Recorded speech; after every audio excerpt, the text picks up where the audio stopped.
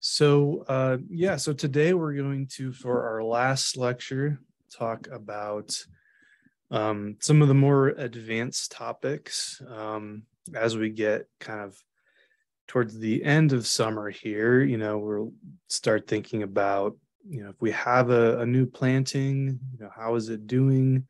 Are there things that we need to think about for management down the road? And um, what we'll be talking about today will be kind of how we go about doing that and um, talking about some of this, um, some of the techniques and the resources we can use um, to do seedling ID and related to that, conducting a stand assessment. And then we'll also be uh, covering some of the, um, one of the things that uh, you all uh, indicated that you'd like to learn about which uh, which are uh, plant ID apps. And so we're going to look at those. Um, I, I put those through a very uh, put them through the ringer, and we'll we'll we'll show you how how well they did. So um, looking forward to that. Okay. So um, again, our goals for today, we want to um, make sure uh, we're we... not sharing your screen. Sorry to interrupt.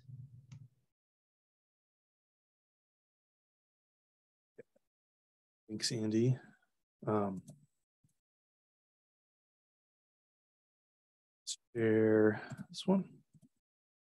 And there we go. Doing better. Okay.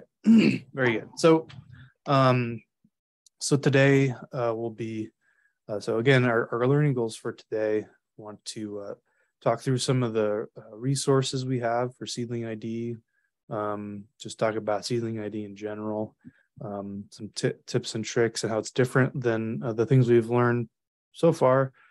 Um, we'll talk about um, uh, some guides uh, in particular. Um, we'll talk about uh, why we need to do stand assessment or why it's useful. And we'll talk about kind of a quick and dirty um, technique that uh, that you can follow along with to uh, to do a stand assessment um, on a prairie strip. And then we're going to talk about plant ID app accuracy and some topics on that. So we're going to be covering three plants of the day today. Um, and they are all um, a combination of uh, mostly mid to late, so even fall blooming species. So some of these um, we're not expect to see these for a couple months, but we will show you how you can identify them as seedlings uh, right now. Okay. So talking about seedling ID here. So um, contrast to other plant ID, um, what makes seedling ID particularly challenging is that well, because they're such small plants, they're they really only have one, two, maybe a couple leaves, including their cotyledons to go off of. Um, they're tiny. You know, we're we're talking, you know, less than a couple inches tall. So that means that we have very few characters to go on. Um, talk about you know luckily a lot of the characters that are not visual still remain in the seedling so that can be helpful to um, to work from. Um, the, probably the most challenging thing is that you have to look for them. They're just you don't unlike plant identification um, with larger plants with flowering plants especially um, it, they kind of catch your eye so you are drawn to figure out what they are. Here we're we actually have to actively search for them in the ground you know right on the ground on our hands and knees pushing aside the vegetation that's above them.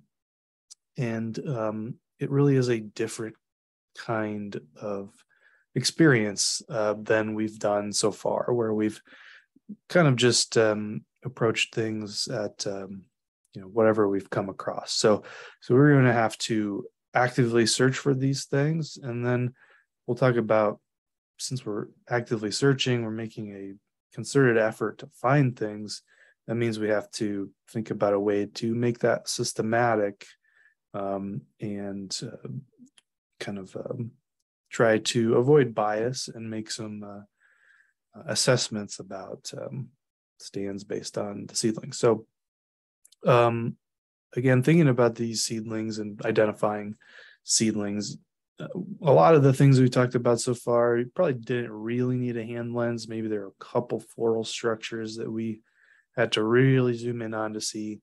Um, but pretty much every everything requires hand lenses um, for what we're going to be working on um, with the seedlings. So, um, again, if, hopefully you've uh, picked one up uh, at the start of the course, but um, again, they're quite cheap. You don't need anything much more than uh, seven or around 10, 10x. So, so that's um, that's going to be very helpful when you're doing seedling ID and then careful fingers you know uh, these you know these are tiny tiny little plants and for some of the characters we still have to use our fingers and touch and um, our other senses.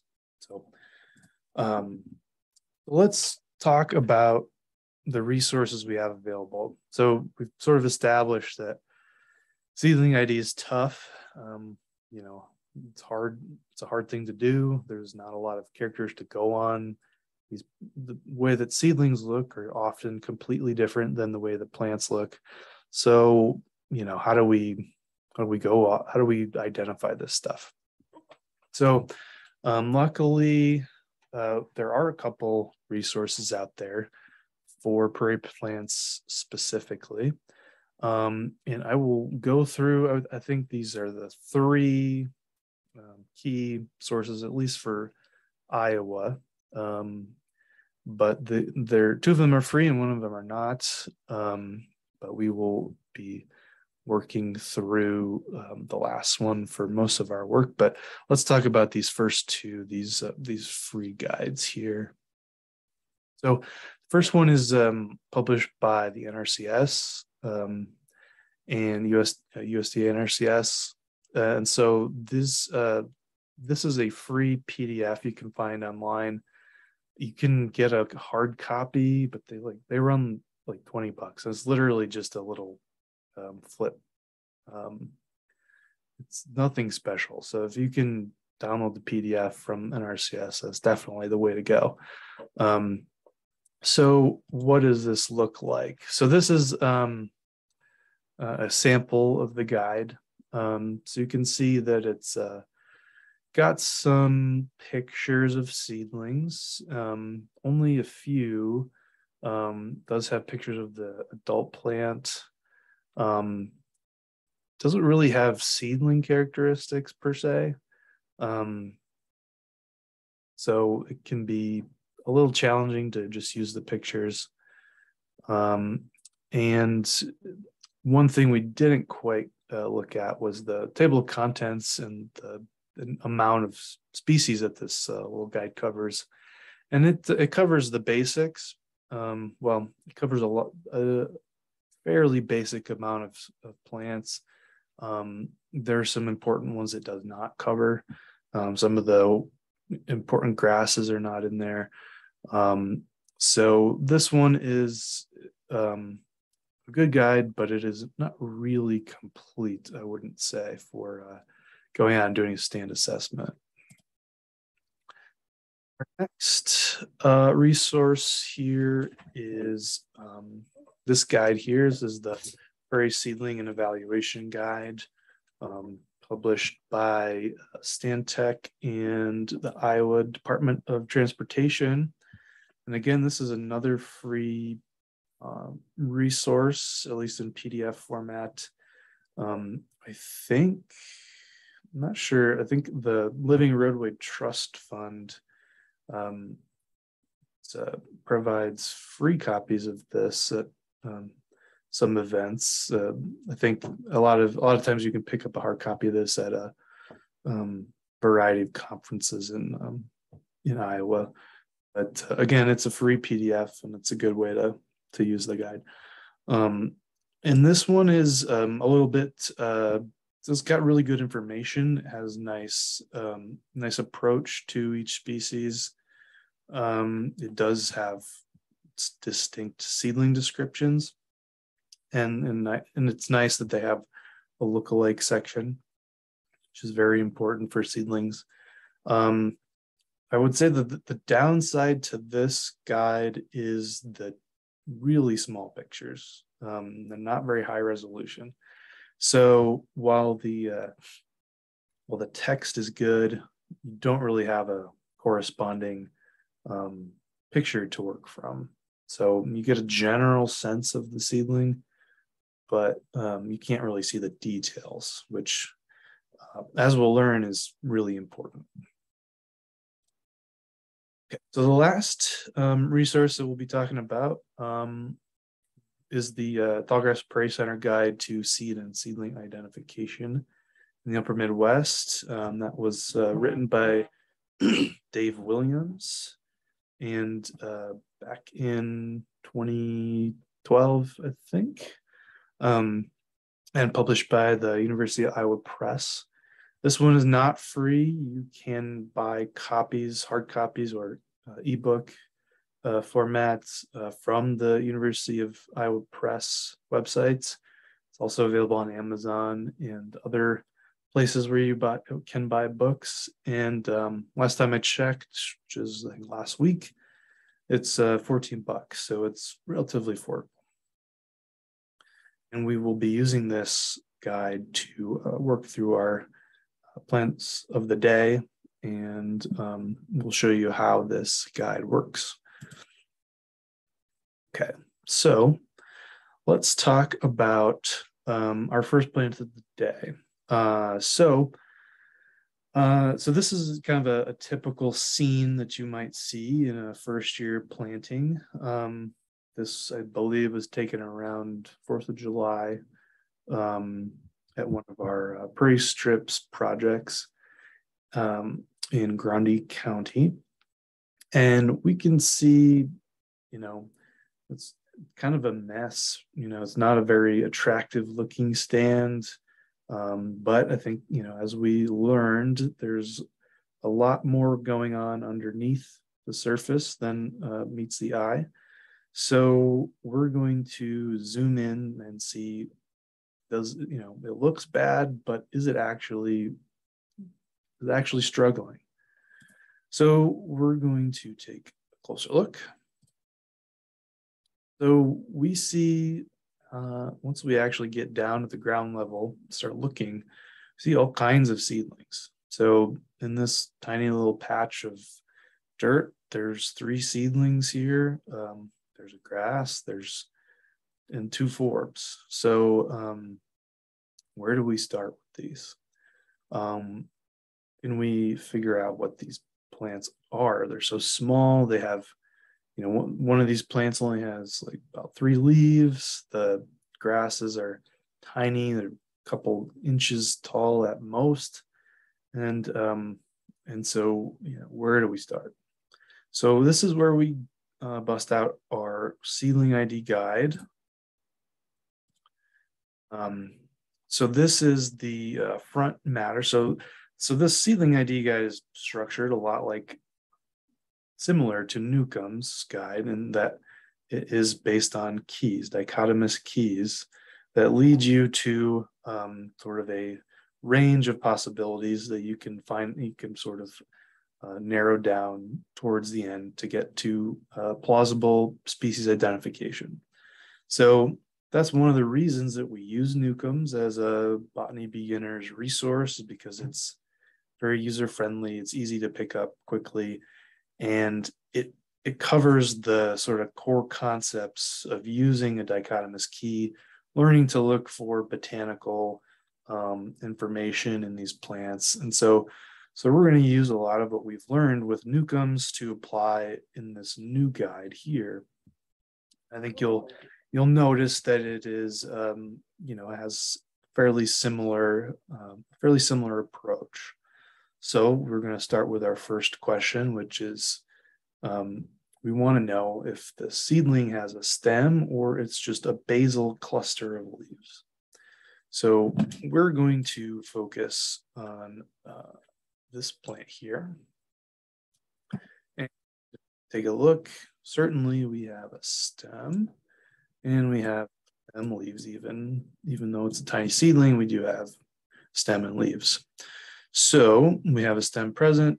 So we're going to go to step two. So we don't have the specimen with us, but if we did roll the stem between our fingers, we would find that it was round. So we're going to go to step three. So here's where um, we're going to encounter some botanical terms, and this is absolutely where we must have uh, hand lens. So we're going to be looking for the stipules near the base of the petiole or the leaf stalk, if you recall. Talked about uh, the, some of the botanical terminology from Newcomb's. And so we're going to have to take a real close look. So these are the stipules. Um, these are the uh, leafy appendages near the base of the leaf um, where that it meets the stem. And in this particular example, we do have stipules. We can see them here, two very thin sort of hair-like stipules. So we're going to go to step four. Okay, so we've already determined that these are uh, fairly hair-like stipules. They don't look like mini leaves. So that means we're going to head to um, characteristic group one, and that is on page four of the um, guide. Okay, so here is our page four. Um, so let's see here. We are looking at, uh, sorry, I just, uh, if, um, let's see. Jackson is is watching. Can you turn your volume volume down? I can. I'm getting some feedback in my office. Sorry. um, let's see. Um, so we're talking about uh, this particular seedling here, um, and uh, to try to match the um, try to match the general um, appearance of this. Uh, seedling to our, um, our, our options here. So if we kind of look at the uh, different seedlings that we have available um, to compare against, definitely doesn't look like a lead plant. It's got much rounder leaves. Um, Jersey tea, definitely not. Very round leaves as well. Purple prairie clover, though, that's definitely pretty good. Uh, looks like a pretty good match. It's got these very thin, um, narrow uh, leaflets. So let's take a look at this. So if we bring up our, um, we went to that page, thumbing through the guide to find purple prairie clover. Um, we can verify uh, whether that seedling is what we're looking at. So again, we have the hair-like stipules, we have alternate leaves, and that compound leaf with three to five leaflets. So that's a very uh, good indication that that's what we're, we're working with. So I think we can um, call this one purple prairie clover. So um, other common names of this species, um, violet prairie clover. Um, very it's a very short plant even when it's uh, fully grown it uh, doesn't typically get more than three feet tall um, and it's a uh, it's a taprooted perennial um, sometimes comes up in clumps that we see uh, often. Uh, and this is probably its peak flowering time um, in Iowa. So now's a great time to go out and look for the adult version of this. Um, but if you're looking for seedlings, you probably need to go to a new planting, a first year planting to find those. So let's uh, let's look at a second plant. Okay, so this is a pretty typical sort of uh, view of uh, what a prairie strip might look like this time of year. Um, now that we're getting uh, towards the end of July, often the um, weeds are getting quite large, and so we have um, we've mowed. And so this is a example of a prairie that has been mowed and um, we can see that there's some uh, cover crops still in there. Um, and then there's just a lot of vegetation, small plants that are here and there. So um, it looks like we still have the option to um, take a closer look at the seedlings because they have not been mowed. Uh, the mower deck does not reach that low. So here, here's our, our seedling that we're going to identify. So again, we're going to go back to our um, initial part of the key. Um, so we're going to start with number one again. So this time we want to look at whether the stem is a basal cluster of leaves or has a stem. So this looks like it's pretty much a basal cluster of leaves. So um, we're going to go to stem absent. So we want to go to six and ask whether this is a grass-like seedling and is definitely not grass-like. It's very uh, wildflower or forb looking. So that means we want to try page 49 and look through group six. So group six is a pretty extensive uh, group. So we'll just kind of take it as it comes. So kind of again, just comparing what we have um, in our picture to the pictures of the seedlings and, uh, and investigating further if we think we might have a match. So uh, our first look here is Black-Eyed Susan. Um, doesn't really appear to be a good match. It's got uh, looks like a lot more hairs than what we have. Um, the bottle gentian definitely does not look like what we have. Canada anemone, very different. Compass plant, definitely, it's only got one leaf. That's not what we're looking at. Foxglove beard tongue, that doesn't quite seem to match. Coneflower, it's much more erect than what we have in our picture. Golden Alexander, um, these just don't really look like good matches here. So can we find one that does have a good match to what we're um, working with? Well, um, I think if we finally get to towards the end of the page, there is something that looks like it would be a good uh, candidate to check out. So the smooth blue aster is, uh, is looking pretty similar to what we have in our um, in our stand. So let's take a look. Okay, so yeah, we have a basal leaf cluster and uh, looks like one of the key characters is that the leaf margin extends to the plant base. So let's see, do we have that? Yeah, we definitely have that. So our leaf margin goes all the way to the base on all of our leaves. So, so that's a good sign that we have the correct ID. Um, and we also have smooth, uh, we have some, some and um, we can also see, probably not in this picture, but if we got our hand lens out, we'd see some hairs along the margin of the leaf.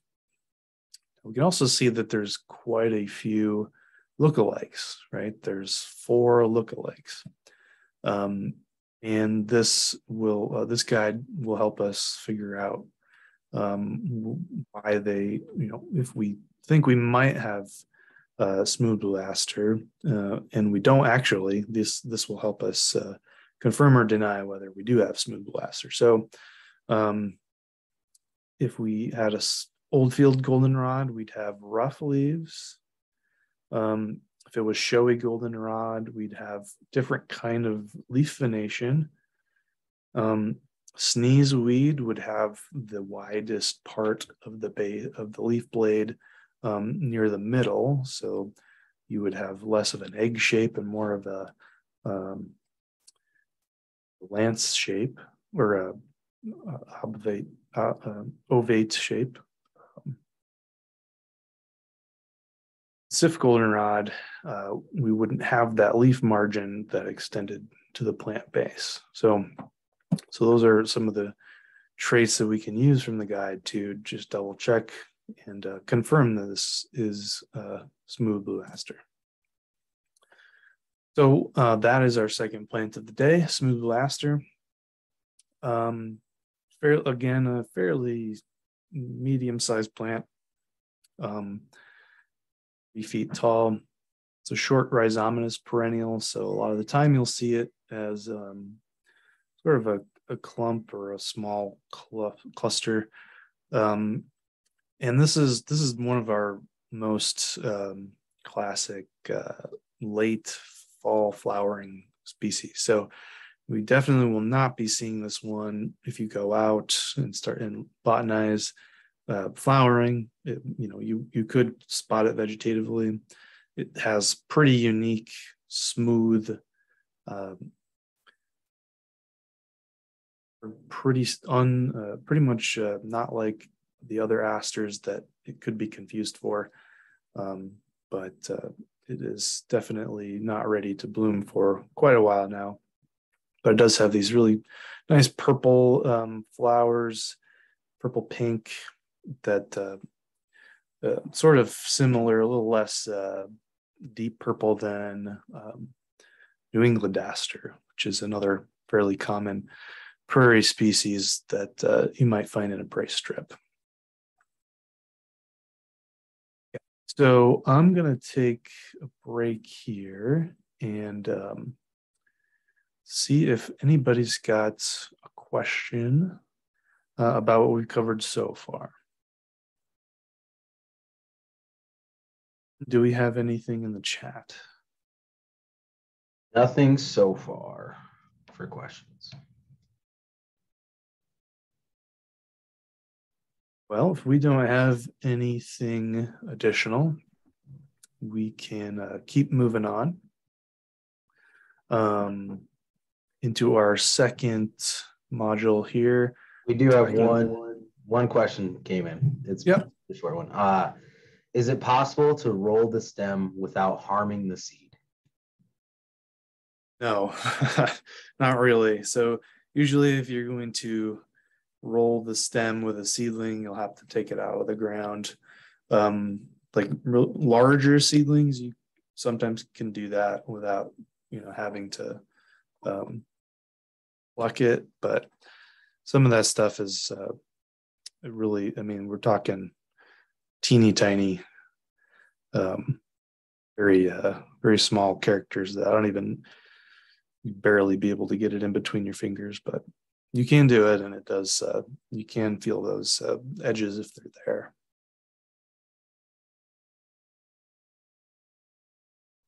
Good question. I think that's I think that's it for now. Okay. All right. So so we move on to our, our uh, next topic here stand assessment. So I, I would say this really goes hand in hand with seedling id um, I mean, there's many kinds of stand assessments that we could do in mature strips, establishing strips. Um, it's a very broad term, but what we'll be kind of covering today is um, the need to do stand establishment early and uh, basing it on some uh, seedling ID. So, why why do we even care about doing a, a, assessing a stand of, of, prairie strips? Why can't we just kind of take a look at it and you know, based on our best judgment, say, you know, this looks good, this looks bad. I see some weeds. Um, we'll treat those, but otherwise looks fine. Or, you know, this is a terrible stand. We need to start over. Well, those are um, those are sort of the the things that we want to you know help make those decisions. And that is what a stand assessment is going to help us do. So um, one of the main benefits of a stand assessment is that it helps us prevent some uh, rash decisions based on its initial appearance. And i can tell you from you know working in or you know establishing prairie strips seeing it the first year no matter how many times you do see it it is always disconcerting. how bad things look uh, by the end of the first year. There are always tons of weeds. You don't typically see the native stuff um, unless you really look for it. And so it, even with a lot of experience, it's uh, it's always fairly nerve wracking to go out and, and look at some of these stands that you spent a lot of time coming up with a plan and developing a seed mix and buying the seed mix, plant and seeding it. And so there's a lot riding on this um, decision about, or this assessment about whether this um, prairie strip is succeeding or it's not, because that's going to probably, you know, either cost a lot or will uh, save you a lot of money. So having um, a stand assessment, having some results um, to really uh, that are systematic, based on systematic, um, unbiased um, information, helps us, you know, know when to increase our management intensity or uh, increase weed scouting, um, or it helps us know whether we really do need to reseed or start over. So um, so having a concrete number, having something to compare against benchmark um, estimates of, of seedling density can definitely help put your mind at ease or kind of give you a, um, a reality check about what this uh, stand is likely to be able to accomplish with respect to you know, long-term ecological goals. Um, so again, early detection can help save a lot of money in the long run.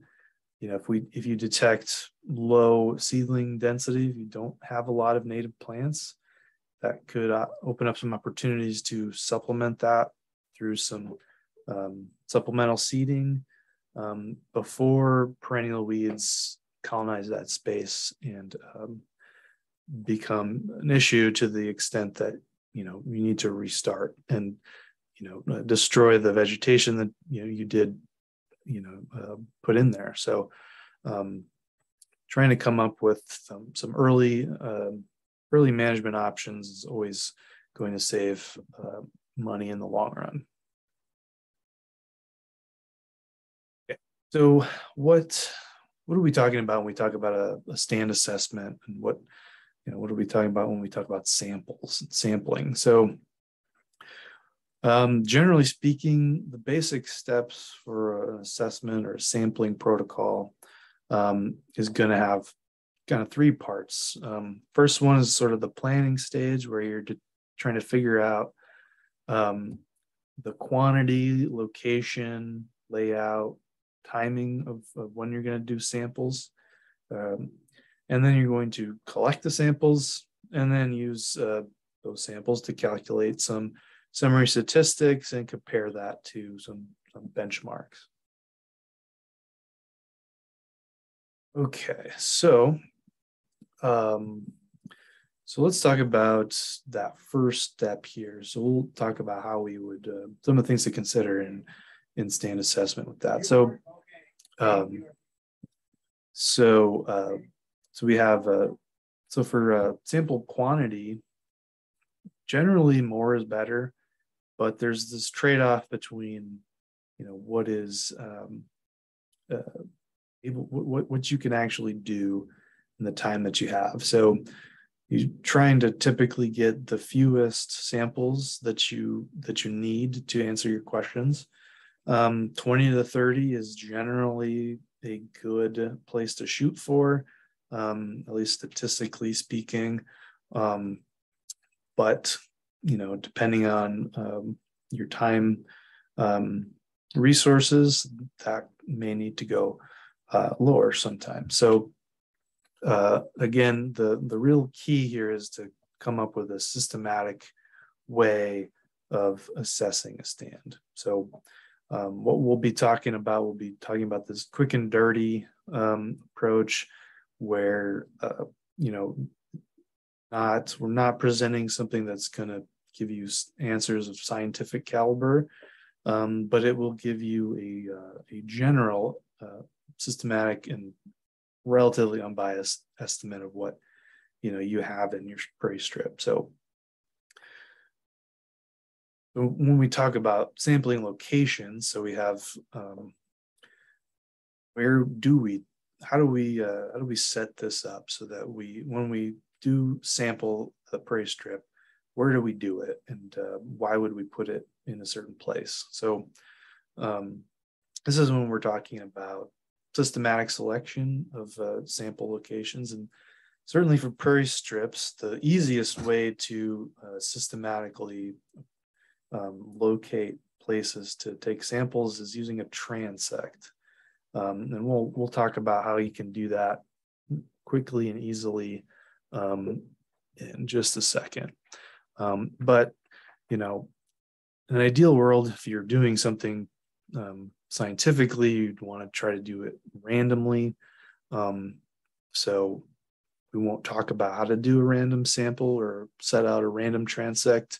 Um, because for the purposes of, of simple management, um, it's probably not necessary.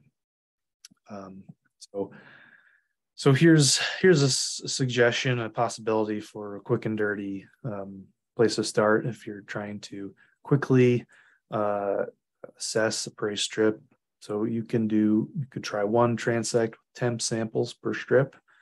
Um, course, this is you know a fairly low number of samples to, to work with, so you do run the risk of over or under counting, uh, but you're definitely making up for it in speed, and typically that means that you're more likely to do it. So there's a trade-off there. Um, talking about the layout, um, you know, where does this transect go? Where should we put it?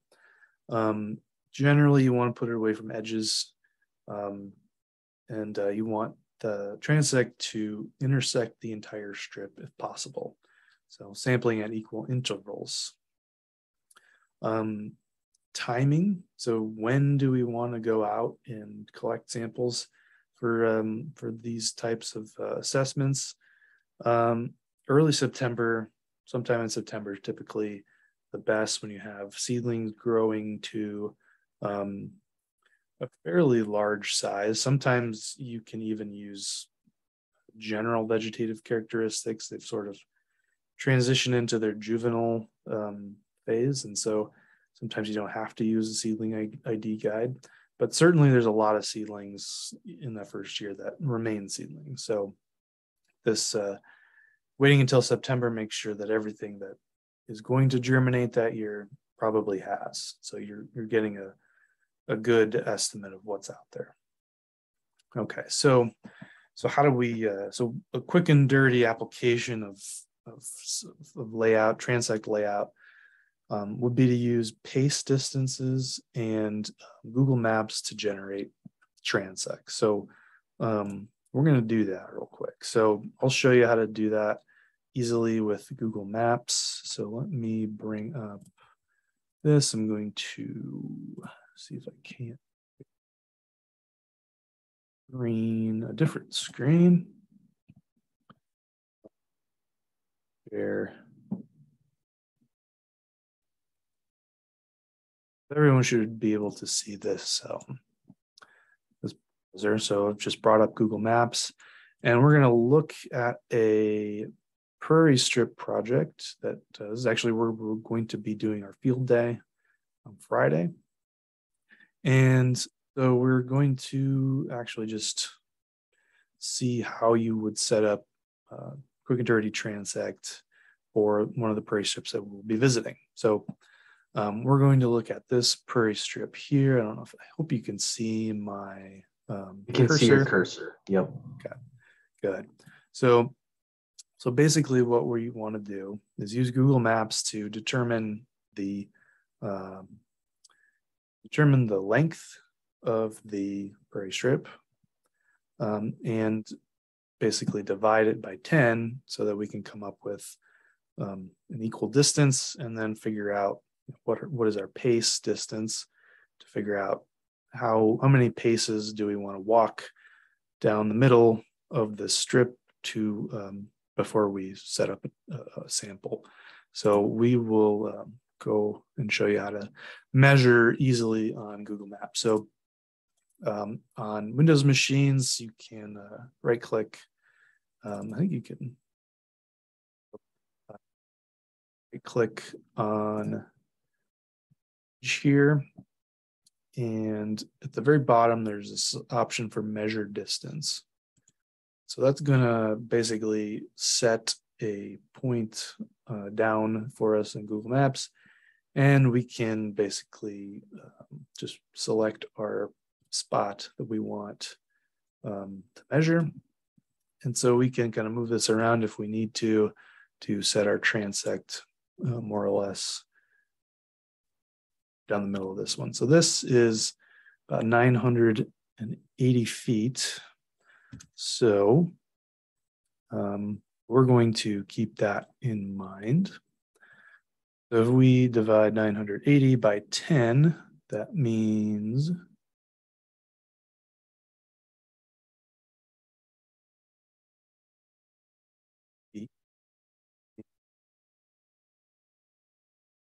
bring bring our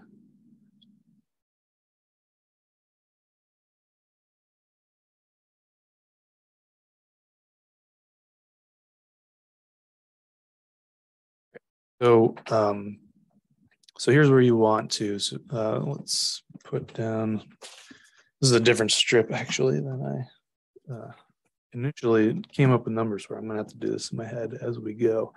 Um, so, so typically, you know, you'd have to, you'd want to measure your own uh, stride step. Um, but, a lot of, um, a lot of people are between two um, two and a quarter and two and a half uh, feet per stride. So um, so what we'd want to do is come up with uh, how many strides between uh, nine. Really, we are going to uh, calculator is not working right now. So we will uh, we'll have to uh, put this off for the recorded version. Um, and little technical difficulties here with those uh, getting the calculation going. So um, so we're going to move on and we'll uh, make sure to uh, uh, add in a slide to uh, show those calculations um, for the recording. Okay, so, so let's move on to um, once we do have the uh, the transect set up, um, we've got our uh, paces that we need to to go uh, each uh, to, to, take each uh, uh, sample in. We need to figure out how to what what are we what are we going to sample. So um, typically, this is where we talk about quadrat. So that's we're obviously measuring vegetation. Um, and we're probably going to be measuring seedling density.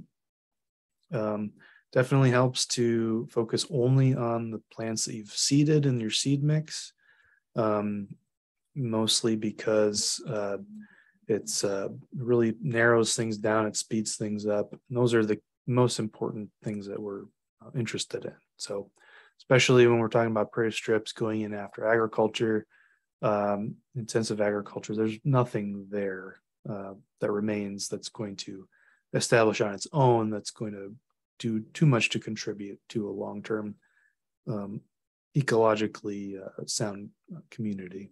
So usually we want to just be focusing on the seedlings that we've uh, um, seeded. Okay so um, going back to quadrats. So um, generally speaking for looking at seedlings smaller is better. Um, often get uh, overwhelmed if you have a large quadrat and you're trying to do seedlings. So keep it around a square foot. Um, and uh, the easiest way to do that uh, is to use uh, PVC tubing. So if you t- took a 42 and a half inch piece of PVC tubing, secured it end to end in a circle, that will give you uh, about a square foot of area to count seedlings in. So if you put that on the ground, counted all the seedlings, identified them um, in that tube area, that will be your sample. So that kind of uh, leads us into what does what what uh, how do you enter that data? That's where data sheets come in. Um, this is an example of one of those data sheets. Um, so this would be something you could uh, use, very simple to uh, to work off of. Um, if you were to do this quick, quick and dirty approach to uh, stand assessment. Um, but once you've got the data, once you've collected that um, seedling data, that's when you want to do some uh, calculations to uh, figure out what is your seedling density. Um, and it's going to depend on, you know, how large your quadrat was, how um, many samples you took. Um, and so we won't talk too much about uh, the specific calculations.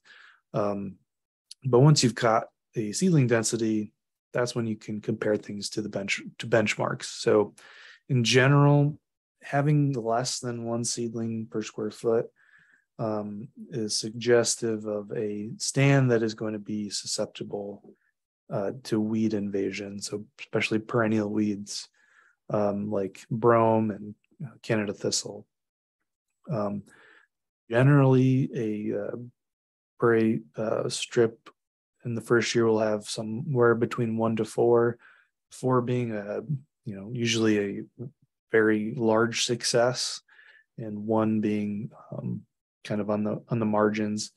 Um, but uh, generally, two or three, those are one through four seedlings per square foot are uh, typical for uh, most of the prairie restorations, at least that uh, I've I've assessed. So, um, so if we were looking at our quick and dirty example, the way to calculate seedling density would be to add up all the seedlings uh, that we found and then divide them by 10.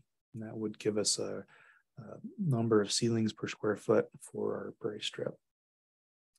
Uh, so using that information, that will help put our mind at ease or make us consider whether you know we should reseed if we have less than a seedling per square foot um, certainly after the second growing season. Um, but uh, first can help you uh, think about what kind of things uh, are coming.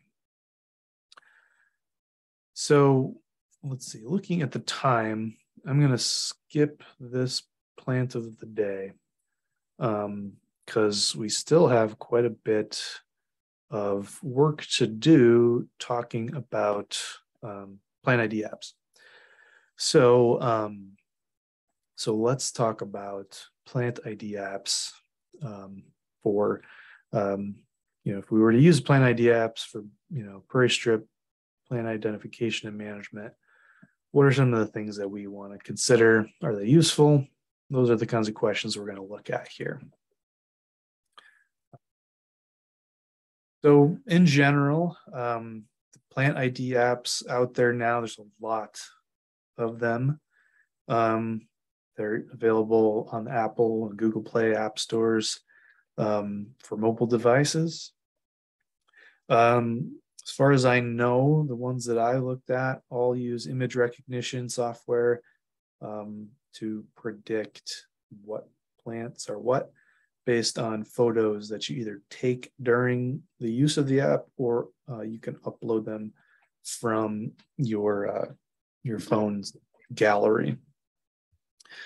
And these are very appealing because you don't need any botany experience. You can just uh, input a photograph and you'll get a result. So, you know, the downside to that, of course, is that um, you're not really learning very much when you're using them, unlike uh, plant uh, like Newcomb's Guide or um, the Seedling Guide, where you are sort of learning about the different traits of plants that uh, you know lead to kind of uh, determine what species identity is, learning the characteristics that uh, contribute to that.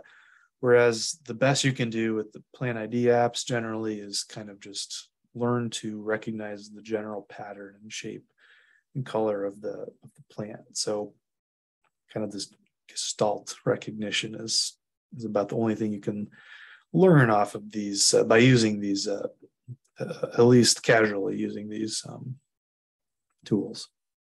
Um, and again, unlike guides and keys that we've used in the course before, um, the algorithms that are used to make the determination of whether a, you know what species we're looking at is uh, is not human readable. It's it's um, looking at it's comparing um, photograph pixel data generally. So it's not something. It's not a set of rules that a human being can read like a dichotomous key. So, and that's even if there's um, some of the, the apps I think have uh,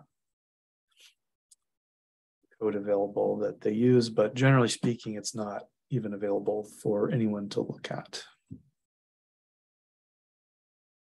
The questions about plan ID apps, I think a lot of people um, ask, and I ask certainly the last one, um, you know, are they accurate? Um, so we're going to look into to that. Um, are they different? You know, are there's so many of them, or are they kind of all the same, or are there are one are some better than others? Um, and could their use lead to poor management decisions? So, um, you know, taking a shortcut by using a, a Plant ID app to uh, kind of make the Plan ID calls for you is definitely appealing, but um, I, you know, wanted to take a look at if you were to um, base all of your decisions on uh, without botany um, experience and just kind of go off of these apps, would we have issues potentially with uh, management outcomes? So here's what uh, I did. Um, I compared a couple apps um, that are what I thought were probably wide use. Um, a couple of the, most of them were mentioned in best of articles, listicles. Um, tried to make sure that the ones I looked at were available for both Android and iOS, and they had uh, more than a million downloads. Um, so I fed photos from my gallery from real real plants, real photographs that I took um, in a prairie strip uh, into each of these apps. Um, use the Galaxy S10, and I took photos at my convenience. So I did not respect any of the rules that or suggestions that the apps suggest to, you know, uh, maximize their ability to um, get a good ID because that's typically, you know, this was, uh, you know, I had I didn't have a lot of time to go out and um, like like anyone doing prairie management, you don't have the whole afternoon to you know take pictures of every single thing in the perfect light. You just got to go out there take the pictures that are important the, the, plants that you want and then go back and, and figure it out um, later. So so that's the approach i took. So absolutely uh, putting these apps through the wringer. Um, not only did i look at flowering forbs i looked at grasses that were flowering. I looked at vegetative forbs vegetative grasses I even tried seedlings. So this is about as uh, intense of a uh, uh, test that we could do with these uh, um, these apps. So using that, we uh, I assessed the accuracy and some of the potential management implications of uh, the results. So um, looked at the percents of um, times it got things correct to species uh, the percent that the apps got uh, incorrect answers or provided an incorrect answer, and then the percent of times that the uh, answer res- could result in a management blunder. And what I decided that would be would be um, a, situation where um, the app identified plant that was native as an invasive species uh, that you might uh, you know come back and destroy the native plants that you planted, or a situation where um, the app identified a um, species, a really, really bad invasive species like reed canary grass, as um, something that was not an invasive species. So, kind of the uh, the separate approach where you you miss important management uh, uh, point of uh, uh, intervention. So, so that's what we're talking about with management blunders. The minor blunders being uh, the uh, situations where it identifies a native as a usually a long shot invasive species, um, or uh, and the serious management blunders as um, identifying something as a serious invasive species that's not, or not being able to identify those uh, serious species. So these are the ones we looked at. Um, Leaf Snap, PlantNet, Picture This, Plant Snap, Seek, Google Lens, and Flora Incognita. Um, so the first couple, these are ranked by the um, their search results from the Google Play Store. Um, so these first four are really, really popular. Leaf Snap, PlantNet, Picture This, Plant Snap. Seek a little less so. Uh, it's also kind of rolled into iNaturalist, I believe. So a lot of people use this um, through the uh, iNaturalist app. Google Lens is not actually a dedicated plant ID app, but it does do it if you ask it to. Um, and there's a kind of a wide variety of developers that are working on these projects. Um, some of them are uh, science based, like uh, Flora Incognita, um, Seek, and PlantNet are all uh, developed by uh, consortiums of uh, scientific organizations. Um, and uh, so the other ones are software developers um, that are sort of general general focus. Um, picture this as a uh, developed by a AI image recognition um, focused uh, group. So, uh, so those are the kind of um, descriptions of the apps themselves. We're not going to actually look into how they're used or anything. We're just going to kind of compare the results. These are the uh, these are uh, cropped images, at least, of the actual photos I fed to the apps. So this is, uh, again, looking at forbs with the floral characters. So a very um, classic set of prairie plants. Then we also used the same plants when we did, when we could, to uh, feed in vegetative characters for um, a variety of, of these plants. Some of these are really not very good photographs. Um, some of them are examples of kind of non-typical types of these plants. So very challenging set. Um, then we also looked at um, grasses with the floral characters. Again, these are the exact pictures. They're cropped, but these are the pictures I fed into the apps. Um, and so um, that's uh, what we're working with with um, floral characters and then we also looked at the collars, took pictures of the collars, and also a picture of canary grass as a clump. So um, these are vegetative grasses. And these are the three seedling identification pictures I took. So um, pretty tough. Uh, it's Ratibida pinnata, uh, Rudbeckia hirta, and Zizia aurea. So um, let's take a look. How did these um, how these apps do? So generally speaking, so the first one um, was the forbs with flowers. Um, and this is definitely the category where you got the best results. Um, there were no instances of serious management blunders, which is good.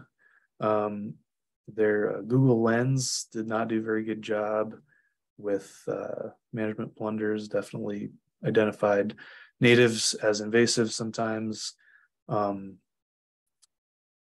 but a lot of the a lot of the apps did fairly well um, in this category, um, with the exception of Seek. Um, so here's another thing to think about here.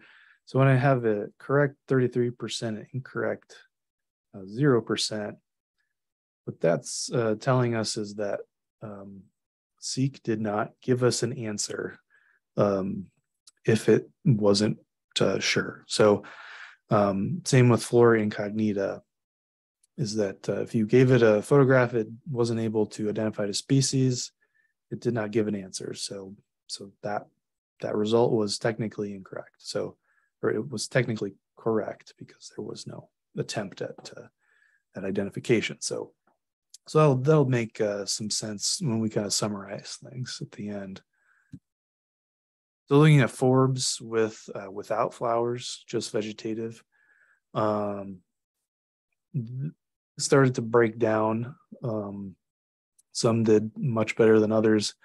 Picture this, definitely got all of them um, compared to Plant Snap, which got none of them.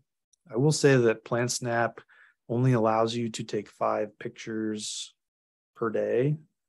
Um, and so I was only able to get two days of this in. So we're, we're looking at a smaller subset for uh, Plant Snap, but um, so we're only looking at 10 species. Um, but it did not do a very good job of those 10 species. Um, Seek did do did, did poorly, um, but as well as Google Lens, um, PlantNet got about uh, got a little bit more correct than incorrect on this one. Leaf Snap did poorly, mostly incorrect. Um, Flora Incognita did pretty good here, 75% uh, correct, but nothing wrong. Um, Management, serious management blunders. We found those with Google Lens and Plant Snap, where I believe this is a situation where um, they were identifying some native species as um, really um, toad flax, which is a very um, bad invasive species that is a lot on a lot of early detection rapid response um, lists. So um, that definitely a that would definitely trigger a destroy spray out situation where that would be a pretty pretty dumb thing to do um, if you were not actually dealing with an invasive species. So um, next, moving on to grasses with the floral characters, not very great. Um, picture this again, really doing quite well, but it does give us incorrect uh, answers. So it's not correct all the time. Whereas um, flora incognita is accurate only about 40% of the time, but it's not giving us the wrong answer. Uh, Seek is not even, know, we'll talk about Seek later. Um, so here's grass with vegetative characters, similar deal. Um, have some real management blunders going on. Um, this is mostly because they're um, missing the reed canary grass. Um, some of the ones that did not miss reed canary grass, um, picture this.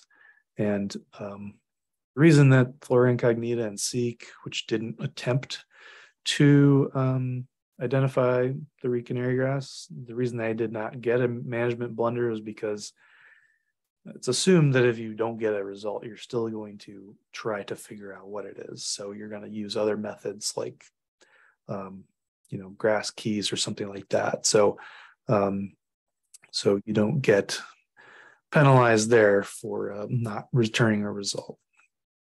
Um, so, uh, seedlings, nobody got anything. So that do not use Plant ID apps to try to identify seedlings. You will get incorrect answers or no answers at all. That's uh, pretty straightforward, I think. So if we look at these uh, aggregated together, um, you know, we have picture this coming out really quite strong with uh, almost 80% of the photographs being identified correctly um, they did misidentify about a quarter of them. So that's not really a good thing when you're talking about management that might be, you know, fairly costly Plant ID mistake. Um, but certainly compared to some of these other ones, Leaf Snap, Plant Snap, Google Lens, um, those are wrong most of the time.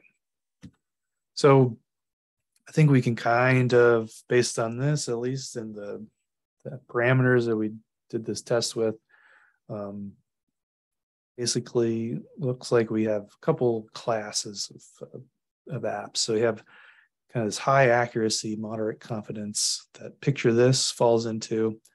Um, it's very accurate, but it always gives an ID that suggests high confidence, even when it's wrong. So, so that means you know you're kind of uh, at it's at the whims of the app to know if you should trust it or not.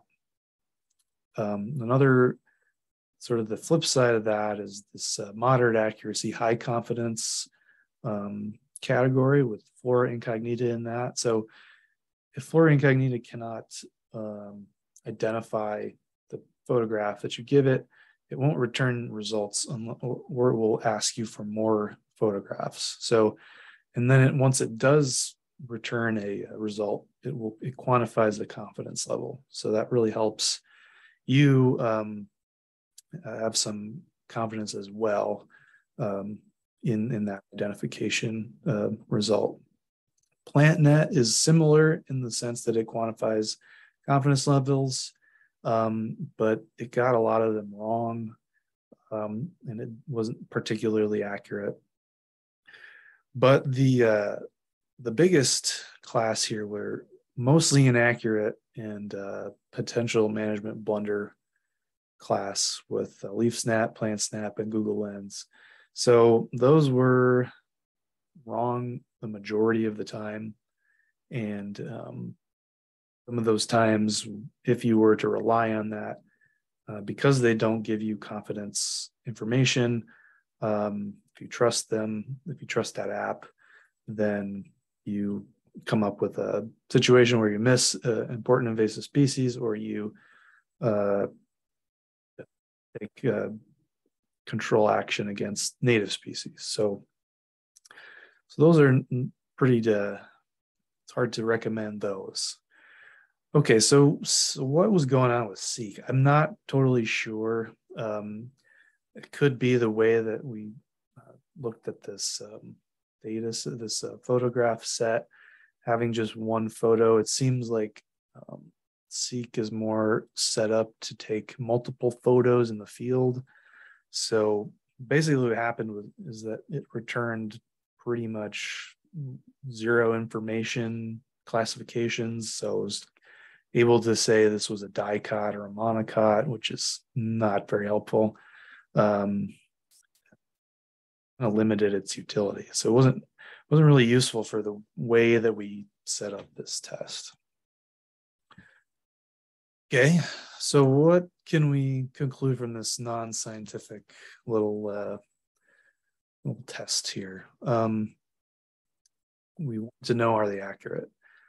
Well, uh, picture this is quite accurate. Under the conditions we gave it, it was correct about 80% of the time, um, even with the vegetative stuff.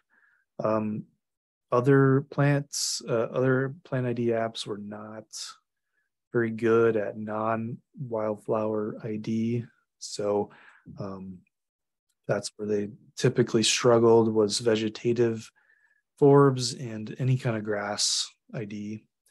Um, I did not even try sedges. Um, that uh, that's another another approach because I mean honestly like I, I have a I wouldn't be able to give you a, a confident uh, ID on most of them. So I'm not going to try to test it against something I don't know.